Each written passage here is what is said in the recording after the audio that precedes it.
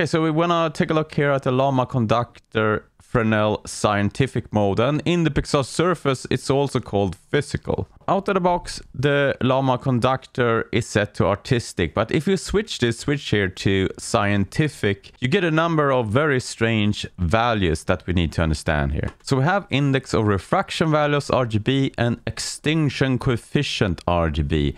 And to understand these, we need to understand the visible light spectrum and how light works actually. A quick Google to Wikipedia and the visible light spectrum and we can see here the wavelengths. This is what we want to know. We want to know what the red wavelength, the green and the blue in nanometers. And once we know this, we're gonna take this into index refraction database. So let's say that we wanna create aluminium. So we can say here 3D uh, is a good one here when you wanna do some metals, for example. And the first one that comes up is aluminium, but you can also have a drop down there.